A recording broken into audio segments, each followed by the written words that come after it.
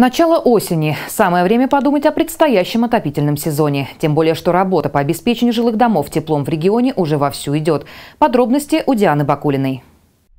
По информации регионального комитета ЖКХ и ТЭК, к работе в осенне-зимний период подготовлены 12 025 многоквартирных домов. Это примерно 84% всего жилого фонда. Обслуживать такое количество домов будет 367 котельных. Многие жители региона опасаются, что вовремя обещанного тепла не дождутся. Но, как следует из информации, полученной от областной администрации, коммунальные организации заменили в Волгограде 46 километров ветхих тепловых сетей, 117 километров изношенных водопроводных сетей и 317 километров электрических сетей. К началу отопительного сезона состояние всех объектов жизнеобеспечения должно достигнуть 100% готовности. Сезон отопления помещений, напомним, начинается со снижения среднесуточной уличной температуры до плюс 8 градусов на протяжении 5 суток. В первую очередь тепло включается в школах, детских садах, медицинских учреждениях, а затем в многоквартирных домах. В последнюю очередь отопление включают в промышленных помещениях.